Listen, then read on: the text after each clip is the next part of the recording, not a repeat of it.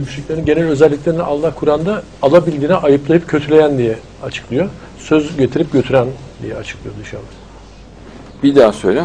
E, alabildiğine ayıplayıp kötüleyen ve söz getirip götüren. İşte bak tam yobazların özelliği. Ya insan utanıyor bunlardan. Bayağı pisler. Onda farkında bir sefer modern olmaya çalışıyorlar. O yarım yamalak modernlik de daha da aşağılık bir görüntü veriyor. Daha da zavallı bir görüntü veriyor. İnsanlar gülüyor bunların haline.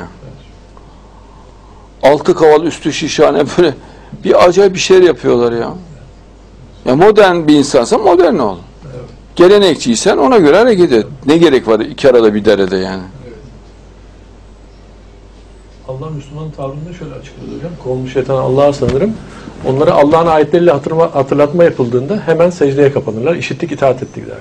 Bir de Onlara Allah'ın ayetleriyle hatırlatma yapıldığında hemen secdeye kapanırlar. İşittik ve itaat ettik diyorlar. maşallah. Helal. Müşriklerin bir özelliği de Allah'a ayette birbirleri alay etmeleri ve e, gıybet etmeleri. Oktay Bey sen de anlat bir şeyler. Kalpleri paramparçadır diyor Allah. Sen onları birlik sanırsın. Oysa diyor kalpleri paramparçadır diyor. Tabii bir kendi aralarında da çok e, taşkınlar. Bir de belirgin bir özellikleri var. Ayette de belirtiyor. Konuşulan Allah sanırım onlar dinlerini bir eğlence ve oyun konusu edinmişler diyor. Gerçekten dinleri var ama onunla eğleniyorlar, fıkra anlatıyorlar üzerinde.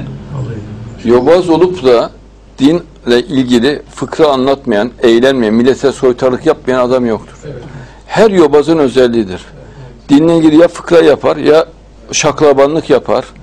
Cennetle cehennemle ilgili, meleklerle ilgili mutlaka böyle ahlaksızlık yapar. Milleti şaklabanlıkla güldürmeye çalışır.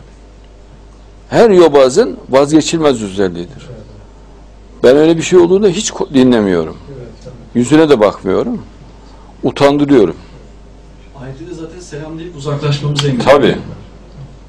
Ya bir işim var, gidip geleceğim dersiniz, bırakıp çıkıp gidersiniz. Öyle tiplere muhatap olmaya gerek yok.